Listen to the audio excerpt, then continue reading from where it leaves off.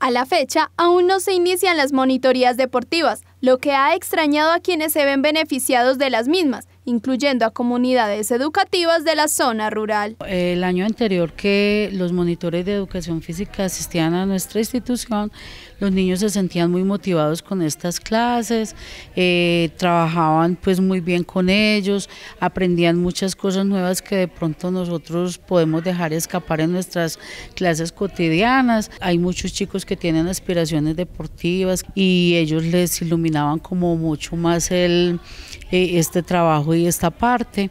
Este año nos hemos estado viendo afectados porque ellos, como ya estaban acostumbrados a esta rutina con ellos, eh, los han extrañado mucho y la verdad sí, nos hace mucha falta porque es un, un aporte muy importante en la educación y el desarrollo de los chicos.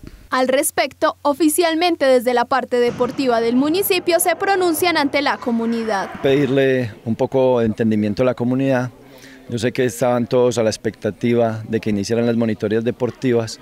Eh, año tras año, digamos, se han iniciado entre los el 15 de febrero, primero de marzo. Este año pues eh, se retrasó un poquito la contratación, pero ya vamos a iniciar con los monitores a partir del primero de marzo, tanto en deportes de conjunto como individuales.